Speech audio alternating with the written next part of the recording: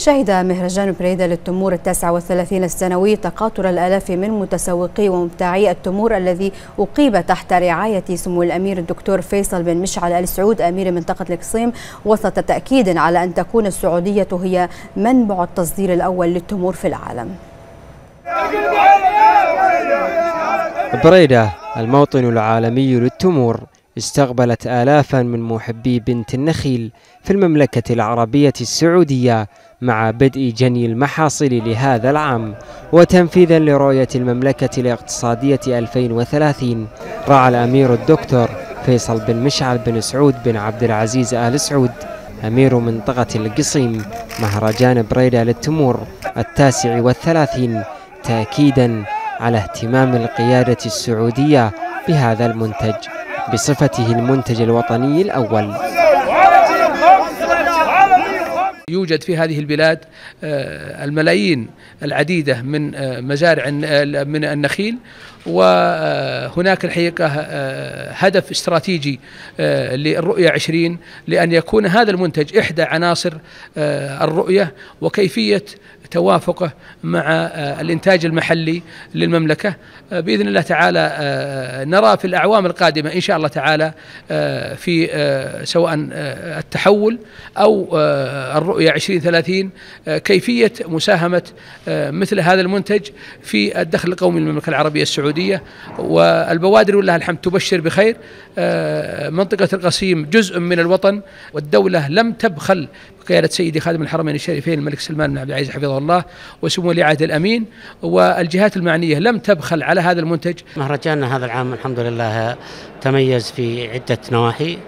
أولا أنه جاء متوافقا مع رؤية 2030 والذي يركز على أن التمور تكون مصدر من مصادر الدخل القومي. مهرجان بريدة للتمور يعتبر أكبر مهرجان في العالم لبيع سلعة التمور وهي, وهي تتخصص في منطقة القصيم خاصة التمور السكري كمنتج وطني يسوق في أغلب دول الخليج ودول العالم. يرد إليه تجار كثيرين من أنحاء المملكة ومن خارج المملكة. يوفر المهرجان حوالي 3000 إلى 4000 فرصة عمل في هذا السوق. وكي تكون منبعا لتصدير التمور لكافة دول العالم بذلت الجهات المعنية بالمملكة العربية السعودية استعدادات بشرية وميدانية ضخمة لتنظيم هذا المهرجان العالمي السنوي. إحنا ننتج ثلث إنتاج المملكة العربية السعودية من التمور رقم كبير. آه الرؤية آه وضعت التمر آه نصب عينيها غزونا أوروبا في السنتين أو الثلاث الماضيات. تسحب كميات كبيرة. ما كنا في تلك الأسواق. دخلنا أسواق جديدة في شرق آسيا في كل مكان. السنة هذه في تركيز قوي في التصدير إلى أوروبا وأمريكا. في الدولة هذه الدولة أبلت بلاء حسنا في في في تصدير التمور.